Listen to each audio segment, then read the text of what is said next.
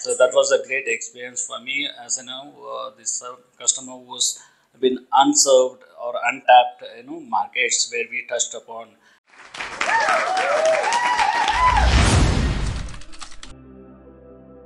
Uh, really, I'm happy to serve the MSME because they are the uh, the entrepreneur and uh, the major contributor for the GDP of India.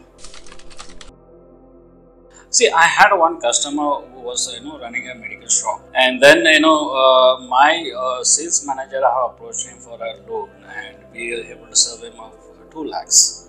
And with this two lakhs, you know, he have expanded his business, and today he is running of three medical stores across the city and is earning very good amount of you know uh, money.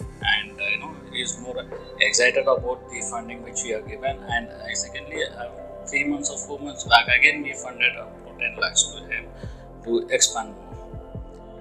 So that was a great experience for me. As you know uh, this uh, customer was been unserved or untapped you know markets where we touched upon.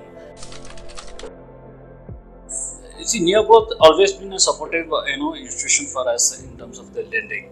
I mean, they at you know each and every uh, customers we and I know I I doesn't want to you know uh, give any other justification because I know that what segment of business they source and you know what they looking forward and what the customer liked about the you know the uh, Neogrowth product and the services. And moreover more of the retail customers were always look for the product like what new growth comes in.